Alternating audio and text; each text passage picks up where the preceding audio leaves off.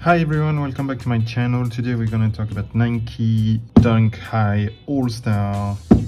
First things first, nice to notice that we have a cool box, a premium box, which is kind of weird because these, when you check the label, they don't say anything about being a premium release. It's kind of like confusing. There's no real consistency when it comes to packaging and naming release of the shoes, sometimes with Nikes. And here they are. So this is a typical Nike Dunk High, uh, which was released uh, for the All-Star Game 2021. The All-Star 2021 was supposed to happen in Indiana, but got cancelled, pushed back to 2024 because of the pandemic. Instead, it was in Atlanta. So yeah, you still have that Indiana logo right there. Anyway, so just a regular Nike Dunk High typical classical silhouette. Just here, obviously, the, the interesting thing is the special colorway for the All-Star game. So you've got essentially two main material used, patent leather here black with that kind of like marble effect. I don't know if you can see on the camera if it comes up, but it's all like with that marble look here. You can clearly see here on that panel.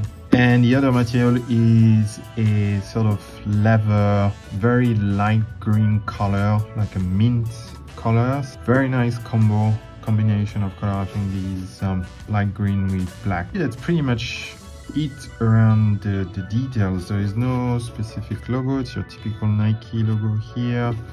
Nike branding inside the shoe. I don't know if you can see.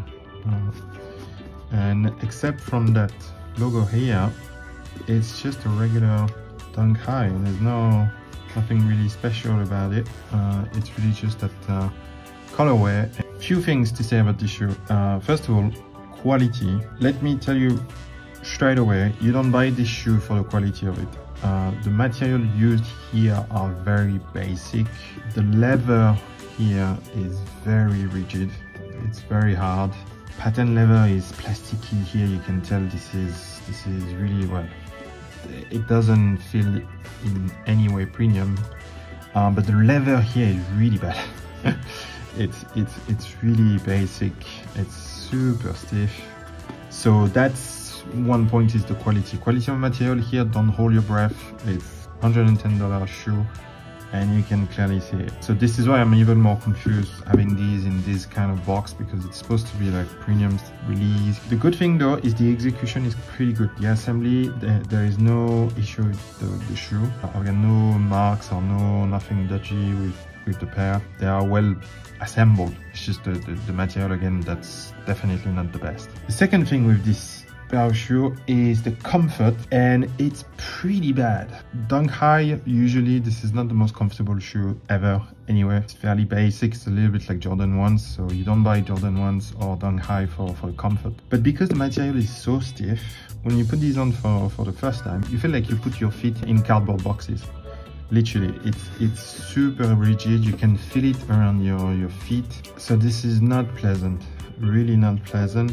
I won the issue already a couple of times, so it broke a little bit. It's a little bit better now, but at first it's whew, pretty, pretty bad. So you need to wear these ones quite a lot to break them in a little bit and things get a little bit better. But this is, I don't think it will be anyway fantastic uh, at the end of the day. Sizing, again, because the material is quite stiff and everything, I, I feel like sometimes my feet are like not properly in place. Maybe half a size would have been better, so it snags a little bit more, so it's more in place, but I reckon it's probably not the best option because it might be too tight around this part here around the foot. So at the end of the day, I would recommend still true to size on these. So the question is why about these pair?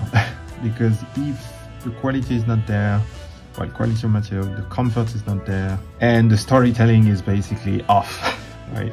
All-Star Indiana. So I've got like shoes that I've got daily beater, like shoes I can wear anytime I know. Doesn't matter if it's raining, whatever, I don't care. But they don't look really super fresh.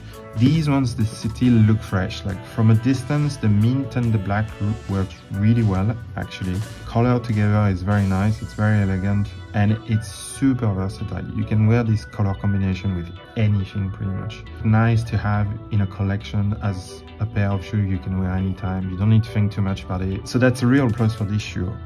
And the other thing is because the material are crap and it's patent leather, you can just beat the crap out of this shoe and you can just put a like bit of water and a sponge and clean them up in literally two seconds.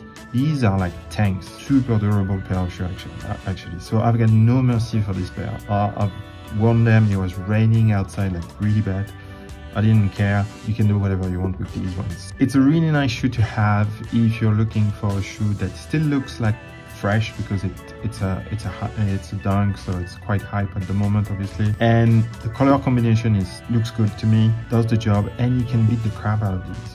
Yeah so that's why i got these. It's my new beater. So yeah that's about it for these. Hope you enjoyed the video. Please comment share like subscribe. It helps a lot. Thank you very much. And follow me on instagram and i'll catch you on the next one. Ciao